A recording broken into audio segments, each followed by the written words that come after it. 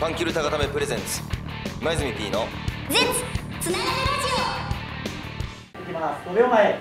432ラジオ教えてくれよ。しげりんポンポンポン。イエコ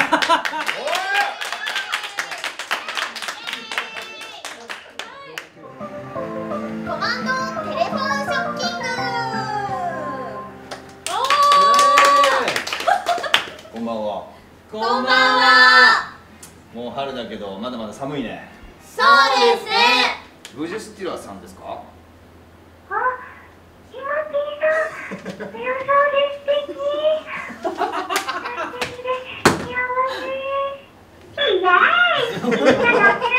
もっとノリノリで。やっぱライブ中でしたねオルオル金子さんって呼べばいいんですか今、なんて言った？金庫？金庫って言ったのか？私の名前はよい子だ。たとえ今ピーさんでもその呼び方だけは許さねえ。面白かったですよね新コマンドの3人はなんかこう新しい風が吹きそうなみんなコミュ力が高かったよねいやみんな良かったよねみんななんか今泉がその声優とワッキャしてるみたいなこと言いますけど今泉番組必要なくね？とかも昨日もありましたけどマジ地獄だと思いますよ俺いなかったら。一回見てみたいもん俺も。生放送で。俺がいないところ。俺がいない番組で。一回見てみたいね。けどなんかちゃんと彼女たちのなんか電話って本当に辛いんで。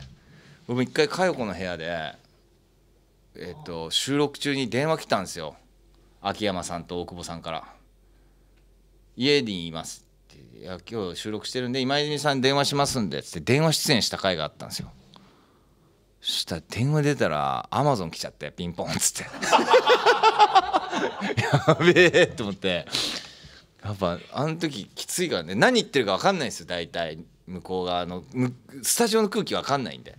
結局まあ昨日生放送だったから見えたかもしれないけどスタジオ空気見えないままのこの電話ってめちゃくちゃむずいからあれはね滑る可能性がすごい高かったんですよねそこを見事なんかあの何タモさんにいた司会者がすごく導いたよね。